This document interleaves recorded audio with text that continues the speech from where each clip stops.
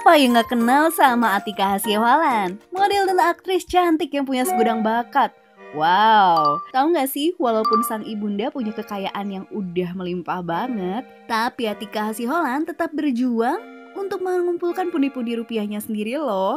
Dan sekarang kita bisa melihat kesuksesan dari Atika Hasiholan beserta dengan suaminya.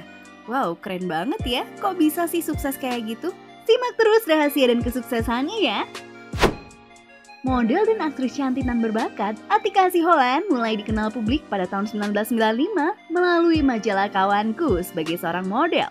Kemudian ia melangkahkan karirnya di dunia akting melalui panggung teater dengan bergabung di teater Satu Merah Panggung. Meski sang ibunda punya kekayaan yang melimpah, Atika tetap kerja keras menggali potensi dalam dirinya untuk hidup mandiri. Setelah sukses di dunia teater, ia pun mantap menggeluti dunia hiburan tanah air melalui layar kaca Kalian pasti kepo kan fakta-fakta tentang Atika Hasiholan yang membantunya dalam mengumpulkan pundi-pundi rupiah. Ini dia. Yang pertama, jago acting. Acting yang pantas diapresiasi membuatnya melejit dan terus dibanjiri tawaran bermain film. Di antaranya adalah Java Hit 2013, Jamila dan Sang Presiden pada tahun 2009, Arisan 2 pada tahun 2011, Laut Bercermin pada tahun 2011, Hello Goodbye 2012, Rumah Maida di tahun 2009, Pintu Terlarang di tahun 2009, Tiga Nafas Likas di tahun 2014, Lata Azan di tahun 2013, Payung Merah di tahun 2010, dan Wonderful Life di tahun 2016.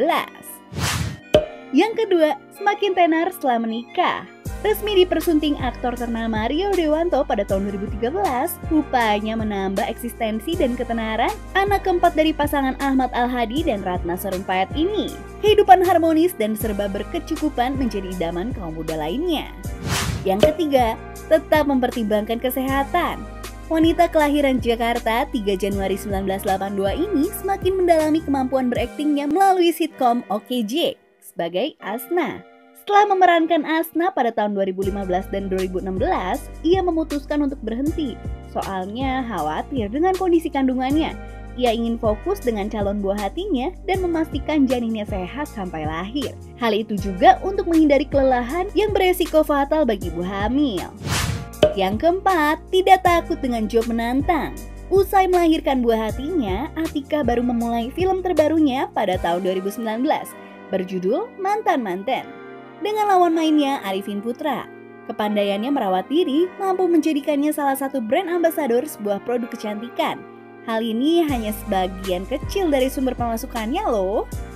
Yang kelima, memiliki suami suportif. Gak cuman kesuksesan Atika yang membuat keuangan keluarga selalu aman. Rio Dewanto, sang suami pun terus melebarkan sayap di jagat hiburan tanah air.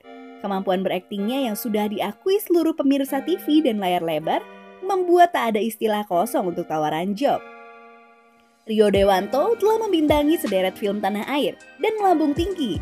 Aktor tampan ini sudah membintangi sekitar 25 film sejak awal bermain film di tahun 2009.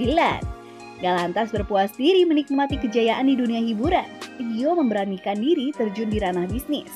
Menggandeng sahabatnya Chico Jericho dan Angga Dwi Masa Songko, Rio tengah mendalami bisnis kedai kopi garapan mereka bertiga Rio dan Chico pun membuka clothing line yang merupakan merchandise dari kedai kopi mereka. Filosofi Kopi adalah nama kedai mereka dan filosofi kopi aparel didominasi oleh t-shirt dan jaket bergaya streetwear.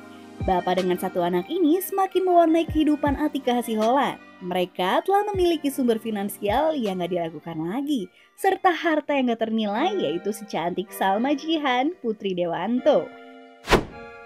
Semoga perjalanan sukses mereka bisa